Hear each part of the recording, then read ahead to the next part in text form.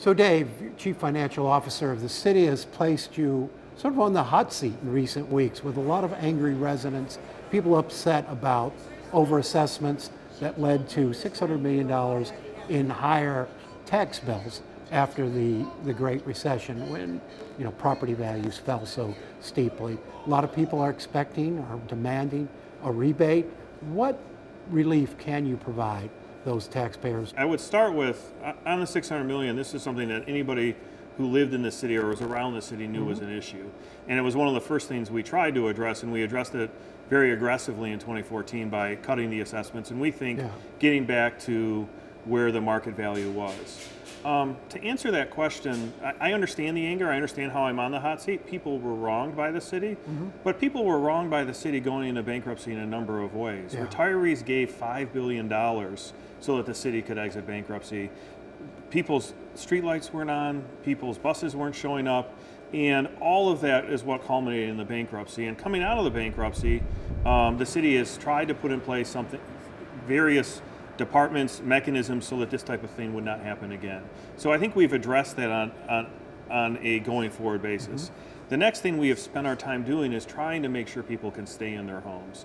So every year we have enacted new legislation and new policies to drive the foreclosure numbers down, the owner occupied foreclosure numbers down to zero. Um, and that's something we're going to continue to do, and we just got uh, legislation through and signed by the governor to allow us to help the 11,000 yeah. people that are currently in payment plans. When it comes to repaying people, though, mm-hmm. we have to remember this is money that was paid to our teachers. This was money that was paid to our firefighters and our police officers, and we can't get it back from them.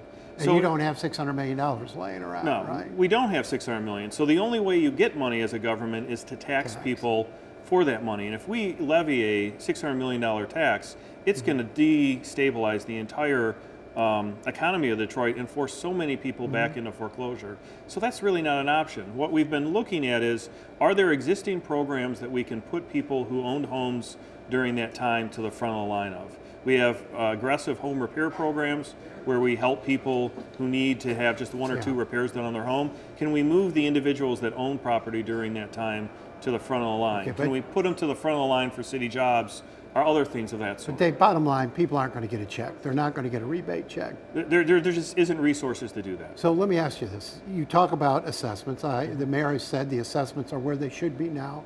What about tax rates? Rates in Detroit are higher than any place else in, the, in Metro Detroit. Is it possible to cut property tax rates or even cut the property tax out altogether to help spur growth, to help keep people in their homes? So the property tax structure in the city is an impediment. It's why mm-hmm. we have abatements. It's why we have uh, mm-hmm. NEZs, which is a tax abatement for homeowners that goes across 20 or 15 percent of the city. Um, it is a problem and it's something we need to look at. But we have to keep in mind this is not just a city issue. Our property taxes are only about a third of the total tax bill that a resident gets. It is the schools, it is the library, it is the yeah. county. And we do need to look at structural reform and what that can mean. I do agree with you that we're going to continue to have to come up with patchwork solutions to this problem until we address the actual problem, which is the municipal finance system for local governments overall. Okay. So, Dave, you're working the budget now. This is the first year the city, since bankruptcy, that the city has to, to start making its pension payments again. I think you said it was $160 million. Where does that money going to come from this year? So the city over the last four years uh, created uh, a thing we call the Retiree Protection Fund, where mm-hmm. we've been socking money away to be ready for this moment. Okay. Um, and this year we're putting in uh, more than we had planned. We had planned to put in uh, 50 million. We're putting in an additional 20 because the pension funds missed the investment returns. So we have been setting aside and building our budget in a conservative way um, so that we're able to make that payment. This year we eliminated 154 long-term uh, vacant positions. Mm-hmm. Uh, we've smallened the size of government as we've continued to roll out new technology, and we're going to continue to have to try to drive economic growth like the FCA plan and other major economic developments so revenues go up and figure out how to do more with less. We're right now in a period of, fi- of economic uncertainty in the country, Michigan, everywhere.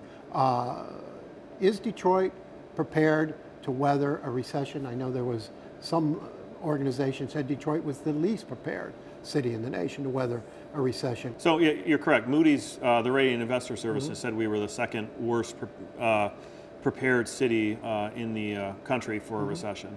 Um, and we're continuing to try to work on that. So one of the things we did this year um, and last year is last year we doubled the rainy day fund to about 11%. We're adding an additional 20 million this year um, to try to get ourselves closer to 15%. So we have time to adjust our budget if the economy turns. The other thing is we've completely revamped the way we're doing our budget so that there's more um, transparency as to what services you're buying.